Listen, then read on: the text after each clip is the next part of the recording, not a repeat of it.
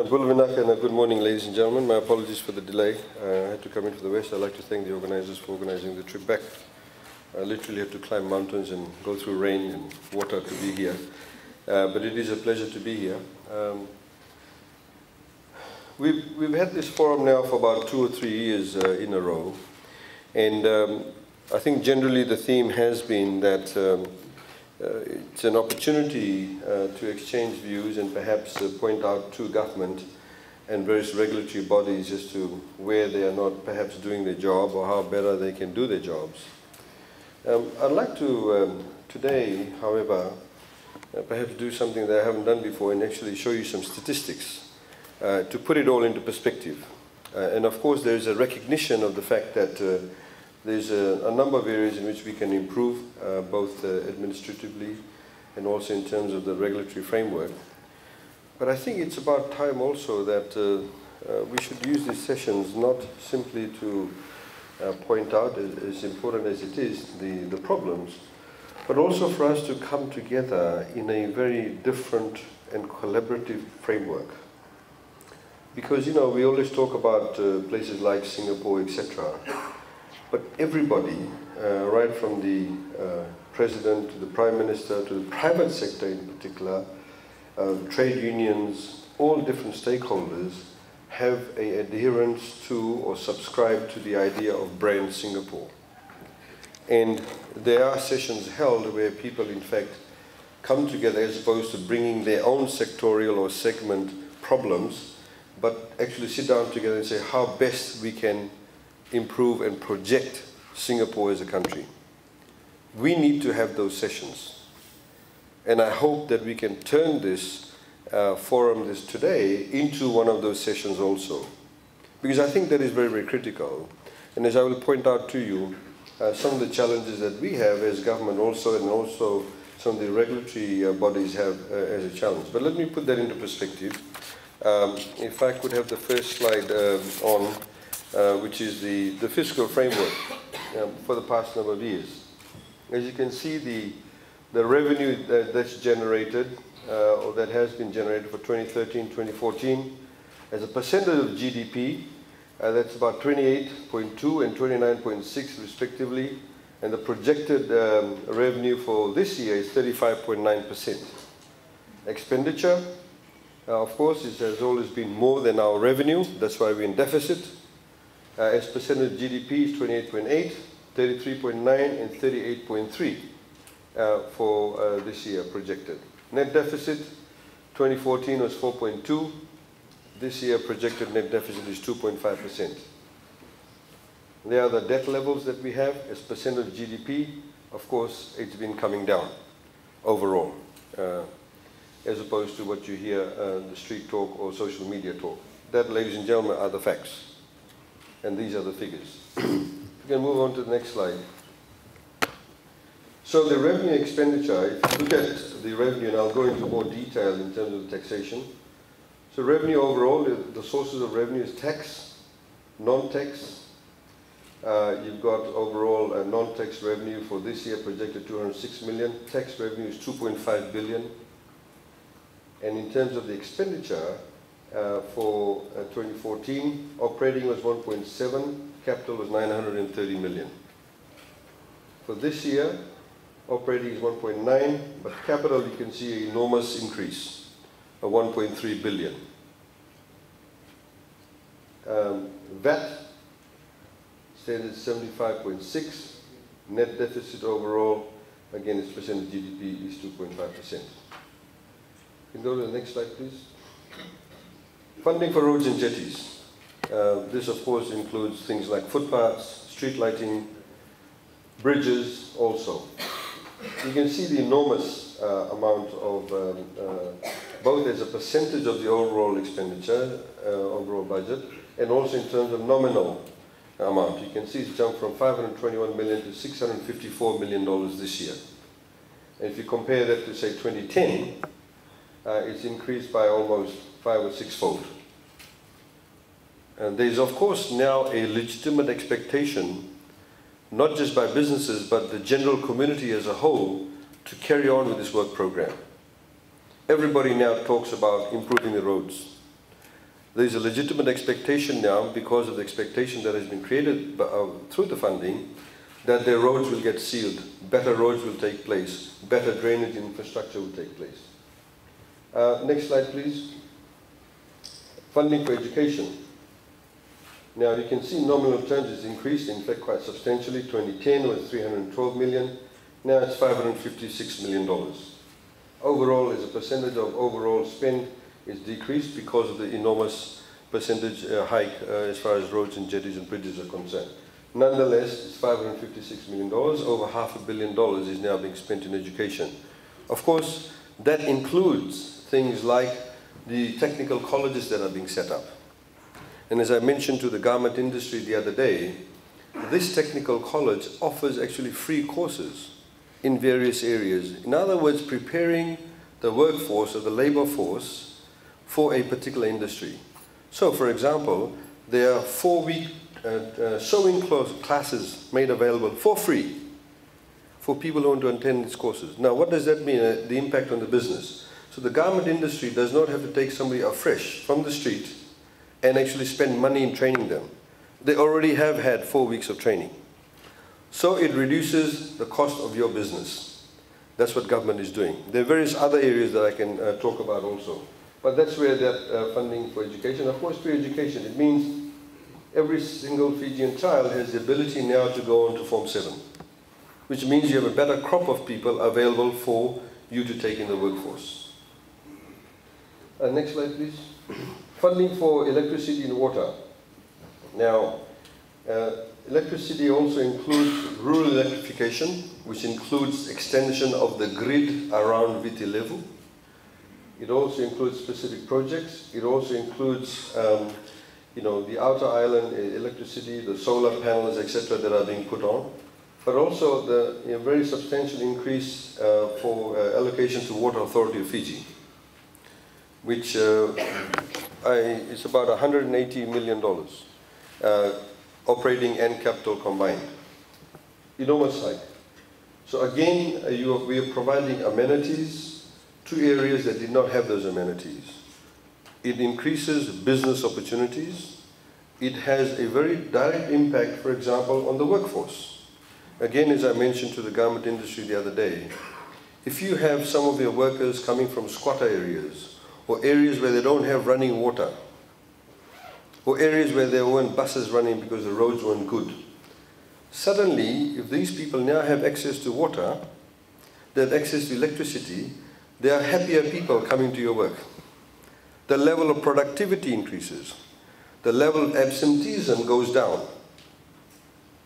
I'm trying to draw this to your attention because you need to understand when government is spending money, it is not simply money spent in isolation, we're simply building a road but it has a multiplier effect in terms, of positive multiplier effect for you as employers. And most of you in this room are employers or work for an employer organization. Next slide, please. Funding for health. Again, we recognize the fact that uh, the health sector is one of those sectors that really needs an enormous leapfrogging into providing full tertiary care. In Fiji at the moment, we do not have full tertiary care available 24-7. And that is one of our biggest challenges. Nonetheless, we have over the years, as you can see, increased the funding uh, for uh, health. Uh, nominal terms, of course, is in continuously increased. Uh, you know, sometimes those figures are a bit uh, uh, out of whack in the sense because our GDP, of course, is increased. But nominal terms, $270 million and 8.1% of the overall spend of, of of the budget. Our industry and trade programs. We thought we'd just put that into perspective in terms of the assistance we are providing. Tourism marketing grant, as you know, is 23.5 million. Investment Fiji grant, it's increased to 2 million uh, this year.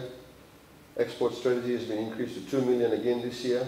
Commerce Commission grant, uh, some of you will probably be happy that the grant has been reduced.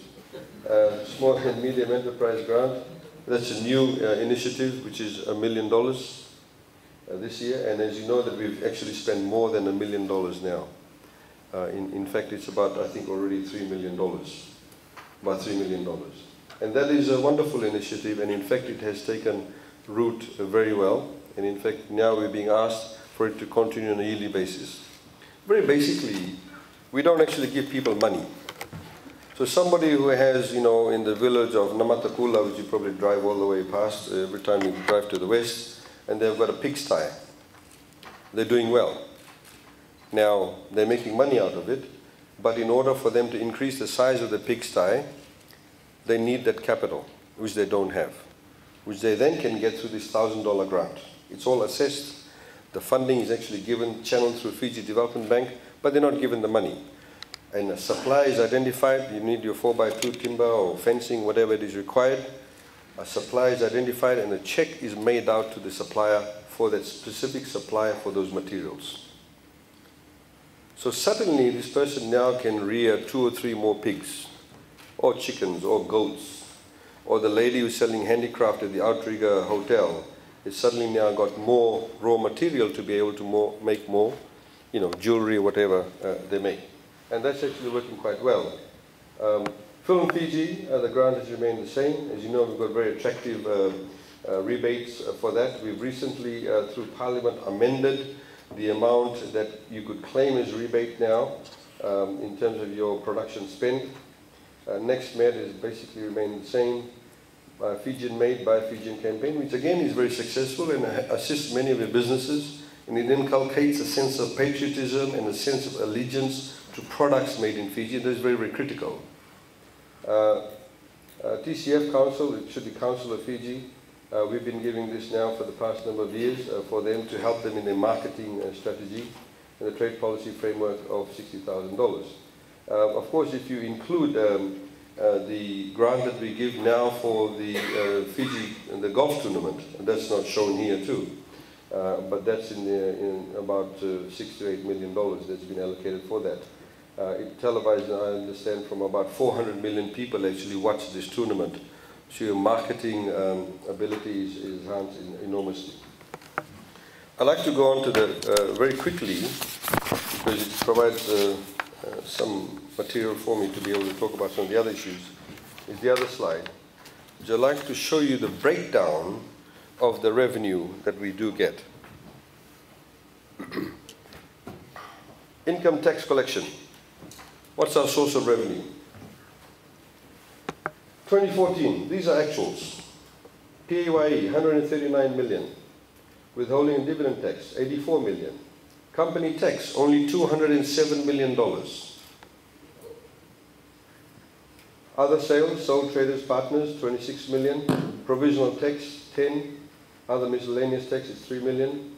Branch profit remittance, 1.4 uh, billion. Uh, ACT, ICT, sorry, business license fee is uh, 4125. Tourist VAT refund registration fee 227,000. Yacht registration 268,000. Gross revenue is that. Less your refunds and less the film rebates, it can go up. Total net income $446 million. But out of that, let me just, uh, if you can slightly go up, please. Company tax is $207 million. That's one of the, uh, the highest amounts, but not, our view is that it's not very much. If you go down, value-added tax,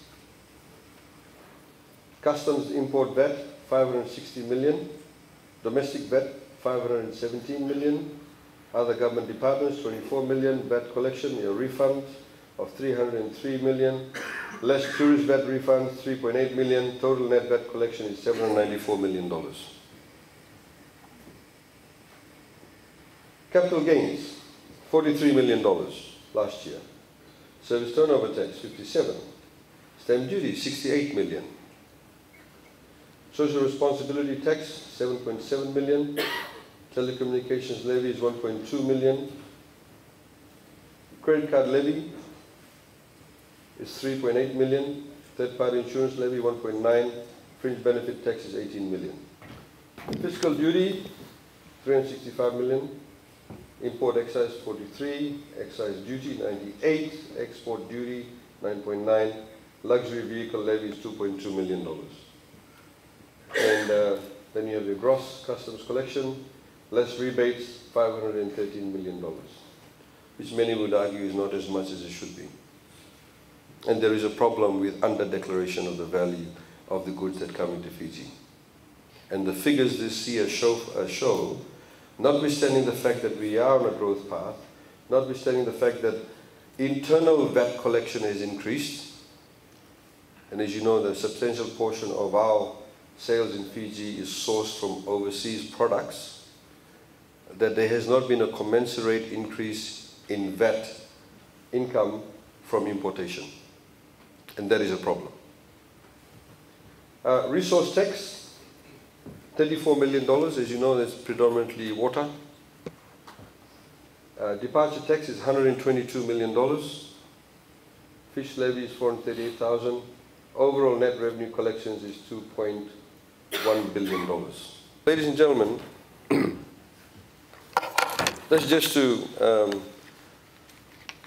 bring home the point in terms of what dollars and some what dollars and, uh, and cents we are talking about in terms of what government has to deal with and what it has to then provide vis-a-vis -vis the collection. As I mentioned earlier on, that I'd, I'd, like to you know talk today about some of the key issues uh, that I think is relevant for our discussions, and hopefully that we'll be able to uh, uh talk about these issues a lot more in detail. But essentially, ladies and gentlemen, uh, we are on a trajectory that we need to take advantage of.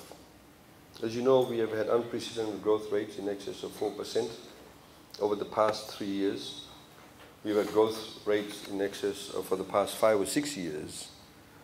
And we have been able to do so when uh, there was a lot of negativity around, when there were various bans in place, put in place by our friends Australia and New Zealand in, in, in particular, that also limited our ability to source from a wider pool of people to be able to carry out many of the reforms that we wanted to carry out, including from the civil service to state-owned enterprises and various other institutions generally.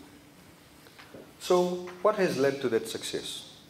I think fundamentally it was more of a vision to see how we can best work with our resources that we have been given and also to be able to identify that there are very strength and, strengths and weaknesses that we have, a comparative advantage if you like.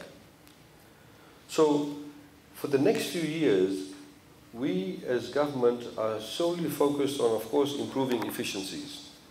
We have put in place, as you know, an ICT program in terms of uh, providing better government services through, um, uh, you know, uh, electronic form. As you would have uh, read in the papers a couple of days ago, the Permanent Secretary for iTaukei Affairs has now said the, the digitization of all the uh, members of the landowning units has been completed now. Now what that means is that we are now on a completely new uh, level of uh, data uh, collection and data retention. It also helps in the equal distribution of land lease monies. We will very soon be, for example, starting the digitization of the titles office in, in Fiji. We are told that if we employed uh, about 60 to 80 people and uh, had them working in three shifts, 24-7, we can complete the digitization by November or December of this year. The software is already being developed in terms of what you do with new applications, but at the same time we have this digitization that is critically essential. Because with titles, some of the titles go back to 1864. 1874, and they're basically falling apart. So we need to ensure that we need, need to maintain the integrity of the documentation and have that digitized. And then, of course, you'll be able to then, hopefully, by the middle of next year, sit uh, in your offices and be able to do title searches and pay online. Uh, as you know that uh, with Investment Fiji now, we have a one-window application with the four-tier agencies where people can sit any part of the world, pay their levy, uh, pay their fee, sorry, and make that application and get the approval from the 40 agencies. So um, similarly, we'll be uh, with the Companies Act. As you know, there's a lot of people are asking questions at the moment. When will the new Companies Act come into effect? As you know, the Companies Act has already been approved by Parliament. We have, uh, we in the process of finalizing the regulations because you need the regulations in place. One of the issues that has been identified is that some of the forms that are part of the registration is not necessarily digital friendly. So we are working at the moment with ADB, together with the drafters, to be able to ensure that those forms become digital friendly. So you can then lodge those forms online. We don't want a situation where we, for example, have the commencement of the Companies Act, but we don't have any of these ducks all lined up. They all need to be lined up. So we are hoping to have the new Companies Act. Please don't hold me to it at the moment because ADB is here and I'm looking at them and put pressure on them. We had a meeting with them yesterday. We are hoping that the new Companies Act will come into effect from 1 Jan 2016. And uh, that, is, that is our target. So, ladies and gentlemen, a number of other initiatives are being undertaken. And we, we hope to obviously um, ensure that um, uh, the, the, ease of doing business, uh, the rating of Fiji does increase. You know, it was very interesting because this does get, you know, rolled out to us, and I understand in the, in the, one of the committees in Parliament, people making submissions were talking about, well, the ease of doing business in Fiji is not very good. But let me tell you, we actually asked the World Bank and said, who are the people you surveyed to find out or assess what is the ease of doing business in Fiji? And out of the 30 respondents, 30 odd respondents, about seven or eight were lawyers from one particular law firm. So if that particular law firm does not necessarily like what government is doing, what do you think the result will be? We had accounting firms that had two or three partners from one accounting firm. You had a logistics company where you had two or three respondents were from the same logistics company. So we don't necessarily believe that the ease of doing business uh, uh, survey has that level of integrity. But nonetheless, nonetheless, we obviously want to improve the rating that we have. And we are hoping and we're talking to World Bank that when they do get respondents, they get a cross-section of the business community in Fiji to be able to get a much better and true and accurate representation about the ease of doing business in Fiji. One of the reasons why I've showed that to you, ladies and gentlemen, is that at the moment, the taxation system in Fiji, in particular with VAT, is regressive. And we need to be able to address it. And I'll tell you why it's regressive. The reason why, for example, the six or seven basic food items were made VAT exempt was to ease the cost of basic food items to those people on the lower end of the socioeconomic scale. That's the philosophy behind it. But most of you in this room can actually afford to pay VAT for those items, but you're also not paying VAT for those items. That's why it's regressive. So any assistance to those people at the lower end of the socioeconomic scale must be targeted specifically. And that is one of our challenges. Because otherwise you are then actually misappropriating government funds because it is not targeted. A person earning eighty, ninety thousand dollars, three hundred thousand dollars, a person earning a million dollars in Fiji is also not paying VAT when they go and buy tea and flour and what have you, when they can afford to pay VAT, or even more than what they're paying VAT at 15%. And that's a problem. That's a challenge for us to be able to fix that up without without marginalizing those people who actually deserve it. So the challenge for us is how best do we address it to target those people who actually do deserve it and perhaps even increase the targeted assistance. Increase the targeted assistance in terms of the gambit of the people who need to be receiving the assistance, assistance needs to be increased. Plus also the value of the assistance needs to be increased also. In Fiji, of course, one of the major challenges we have is that there are fundamentally three categories of people we have to deal with. You have people who are social welfare recipients. They're quite easy. You target them. You know who they are. And if you want to increase it, you can directly assist them.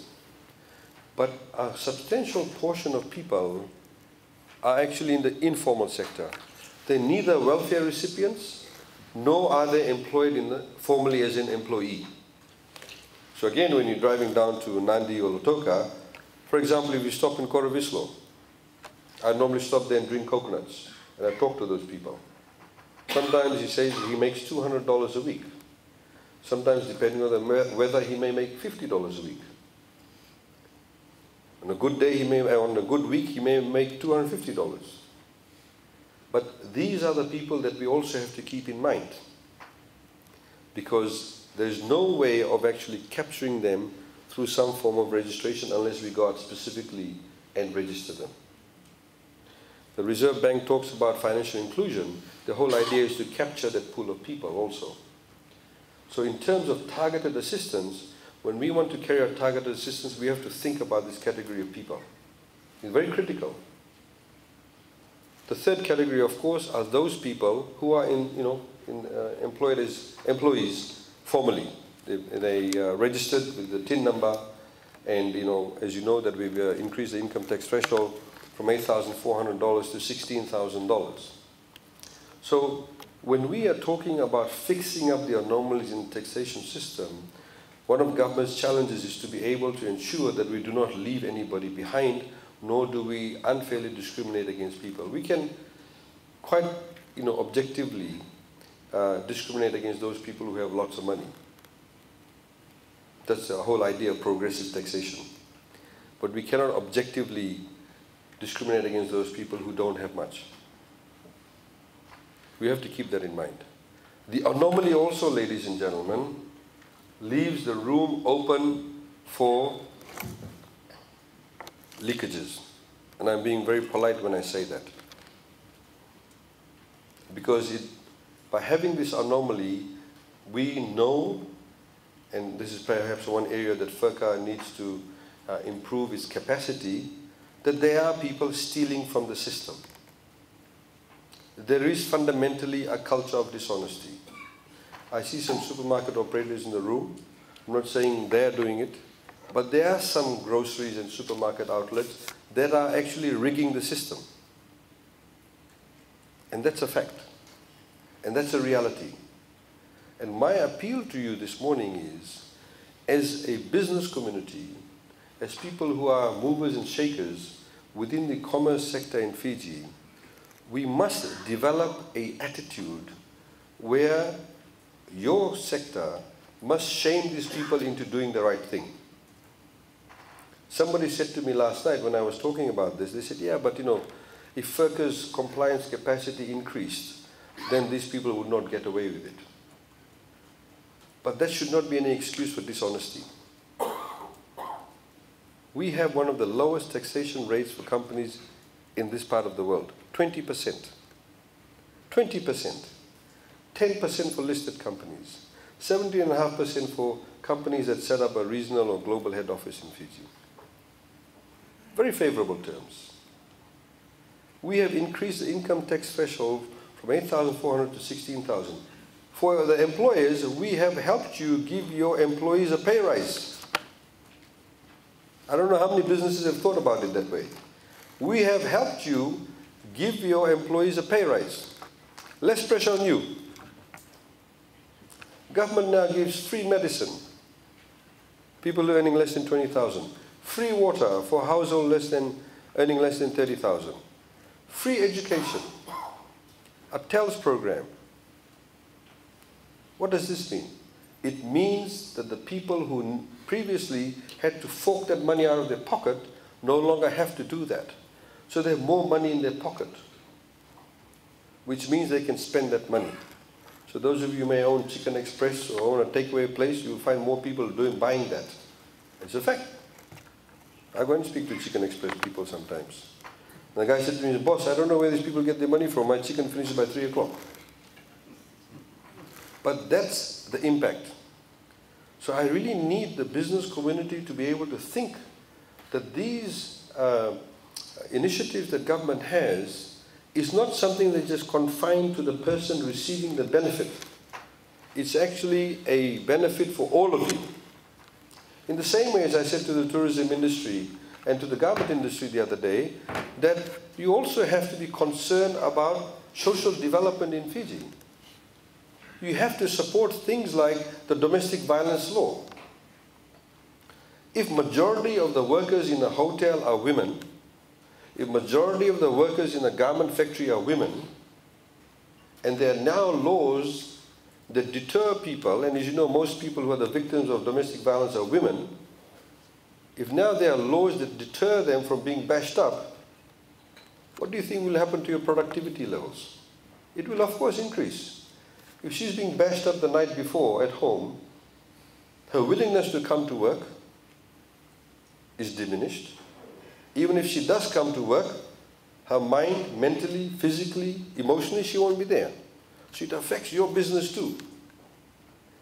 So this is why it's very critical, as I said at the CPA conference last year, that unfortunately in Fiji, and I'm having a go at all of you now, unfortunately in Fiji, that many people do not necessarily, professionals, accountants, lawyers, business uh, organizations, do not necessarily think that it is their, their, in their purview to actually make statements in the public space. Saying, look, we believe that this law is good. You can say that objectively. They do not say that this initiative is good because it puts less pressure on us, it's good for the community overall. We all need to be, if we want to be where Singapore is, or Mauritius, some people may argue, we all need to participate in the public space to be able to contribute to these kind of initiatives and inculcate that sense of what our Honorable Prime Minister keep on saying, keeps on saying, is about that one nation, building that one nation, because everybody will benefit from it. Your businesses will benefit from it, your employees will benefit from it.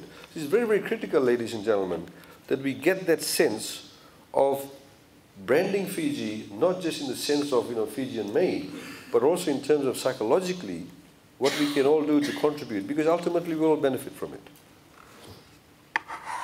Now, I have uh, uh, highlighted uh, earlier on to when we met with uh, different uh, uh, sectors within the within the community about the you know the initiatives that government is undertaking. I accept the fact that uh, in some of the areas that, uh, of course, we can improve quite significantly. Um, as you know that uh, the public service is going through a, a, reform. The chairman of the Public Service Commission is here. Um, they are in the process of uh, uh, you know, advertising uh, for the selection of new permanent secretaries. We have, we're with the World Bank, we are working with the World Bank and various other consultants, and we hope to in the next month or so roll out some standard operating procedures across the ministries uh, regarding, for example, merit-based appointments, regarding disciplinary of uh, actions, uh, and ensuring that uh, there's consistency in the selection criteria uh, across all the ministries. Uh, ladies and gentlemen, we do have a, a, significant challenge. We have a very young population base. we do um, need to be able to address issues like employment, we need to be able to put in place industries that can give them gainful employment to our younger population. In the last elections, in the 592,000 registered voters, over 200,000 were below the age of 32. There'll be a lot more coming into that bracket again. So these are the people who are the future Fiji and they'll very quickly become the dominant numbers.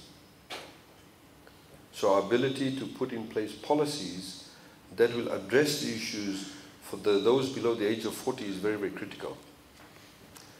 Our ability to be able to retain people in the rural areas and or make rural areas a lot more attractive for investment is very critical.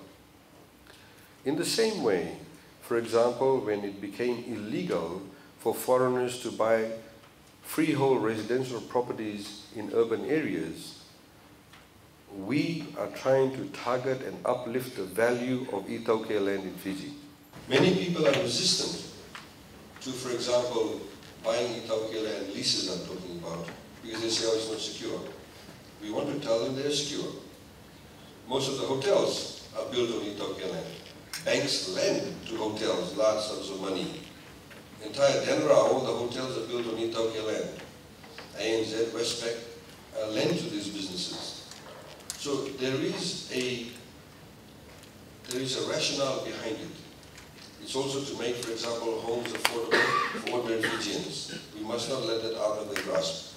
And in fact, we hope to make some announcements regarding the availability of housing uh, to. Housing is a big issue for us.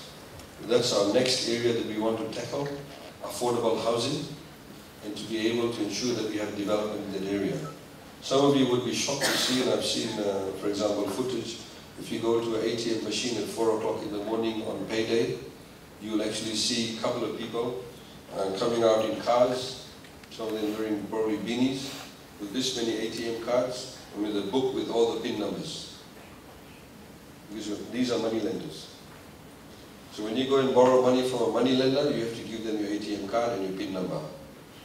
And then they come and withdraw the money. This is why we have long queues in the bank. Because if I've given my ATM card to the money lender, so during the day, then I come, I know it's payday, then I'll stand up and actually see how much money he's withdrawn or she's withdrawn, and then I, you know, then I withdraw the funds manually over the counter. So these are very critical issues, and we hope to get more private sector interest in that. As you know, government recently, for example, advertised calling for expressions of interest for private sector uh, to build uh, uh, government offices, and we hope to uh, carry on with that particular project very soon and make some announcements in that area. We're also uh, providing assistance for the development of uh, land for subdivision, which is very, very critical. Uh, you know, it is, it is quite shameful that in Fiji, for a number of decades, the people who actually make the cream out of subdivision of iTaukei land are not the iTaukei people themselves, but other developers who come along and lease those lands, 100, 200 acres, whatever it may be, or 50 acres, and then at a nominal rate, and then they will subdivide and sell those leases for 80, 90,000 or 150,000 dollars. We would like the iTaukei people to actually develop it themselves, and this is where government has set aside $10 million this year to be able to, for example, give them the funds by way of a grant to help connect them to amenities so the cost of the production of their land for development purposes is reduced. So a number of initiatives are in place, ladies and gentlemen, and I think that's very critical uh, that, uh, that we follow through with this. I'd like to, just, just very quickly, I mean, I, I think I've uh, probably said uh, enough, and as you know, that we've got many other sessions that are coming, uh, coming up. I think, you know, just to, to, to, capture, I just walked in, uh, about, for example, women or being appointed to boards. I think, yes, I think you'll see that appointments are taking place. But there must be a fundamental philosophy behind it. It must be merit-based. You must have merit-based appointments, otherwise you'll actually diminish that kind of positive uh, you know, uh, discrimination. If you appoint people for the sake of appointing people without merit, then it will be quite detrimental to whichever organization you sit on the, on the board. So there must be a threshold that everybody needs to meet. And that is very, very critical. In most countries, actually, that if you study that, they have actually suffered under that kind of positive discrimination. If you have merit-based appointments, if you meet the minimum threshold and you say, okay, these people have met the minimum threshold, and yes, okay, maybe there's some women that are not there, then we can put women in there. That's very, very critical. Because it then instills confidence. At the end of the day, the ordinary Fijian who goes across a government counter wanting to be served, they simply want to be served. They want that level of efficiency. As I said uh, uh, last year, that uh, when we build roads, when there's no water in the tap or the tap, the water stops running through the tap, nobody rings up and says, oh, can you fix up my tap water? And by the way, I want a person of this ethnic group or this religious group or a male or female to fix it. They just want the water in the tap. When there's no electricity, they want it fixed immediately. And who best can do that? The person who knows how to do it. The best person to do the job. And I think that is very, very critical for us to be able to understand it. In the same way, for example, some of the challenges that we have, uh, you know, through the regulatory bodies, whether it's FRCA, whether it's finance, whether it's uh, industry and trade, whether it's uh, municipal council, whether it's town and country planning, whether it's the lands department, uh, and I know these are some of the key target areas that you'll probably be talking about later on in the day today. We need to have the best people to do the job. Lastly but not least, I would like to uh, uh, highlight again that uh, we do have some challenges in terms of getting the right people uh, because of the lack of skill sets that we have. As you know, for example, in Fiji, there's a shortage of surveyors. There's a shortage of town and country planners. This is why the scholarship that we are giving the fully paid scholarship to 600 coppers in Poland. There's a number of positions reserved for that. Unfortunately, we don't have that many people who want to take up those scholarships. Because in Fiji, you know, every child is told that uh, by most parents that uh, to be successful, you have to become a lawyer or a doctor or perhaps an engineer. Nobody, you know, it's, it's not sexy to be a town planner or, or a surveyor. So we need to, of course, have that mind shift. In the same way that, uh, you know, somebody telling me that when they were in high school, when the student did not pay attention, they said, oh, you know, if you keep on not paying attention, probably be, become a farmer. In many of the country schools, they actually say that. That is wrong, because we want more farmers, we want more qualified farmers. This is why we're giving scholarships to the area. So it's a whole, as a country, we need to make that mind shift. And my appeal to you today is, please understand, we need to take a collaborative approach. You also, as a group, need to be able to, if we are concerned about the future, need to be able to identify people within your sector who are rigging the system. I, am saying this again and again because there is a huge amount of income leakage. There was a survey that was done that said that one third of the value of our GDP is in the black economy. So if you take today's figures of $8 billion, one third of that is about $2.5 billion unaccounted for. Not coming through FRCA, not coming through the mainstream RBF, through the banks. It's below us. Now you can imagine if the $250 billion is uncaptured, and even if you take 15% of that as revenue collection, that will significantly, significantly boost our ability to have more revenue. That will significantly improve our ability to have perhaps a surplus budget, significantly improve our ability to build more or invest more into infrastructure. I was talking to, again, um, because I just spoke to them, uh, you know, the, the, the, garment industry people. And one of them said that they felt really mandua about calling some of their clients to visit the factory because the road to the factory was filled with potholes.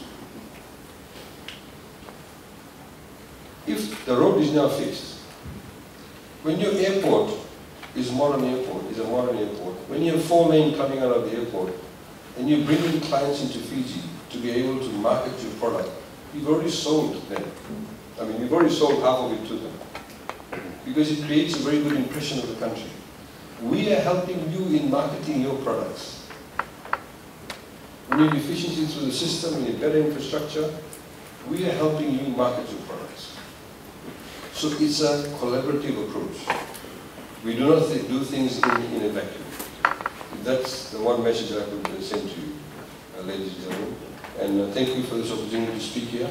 Uh, I will, of course, be around and we can have those panel discussions. But thank you once again, and we look forward to talking to many of you. Naga.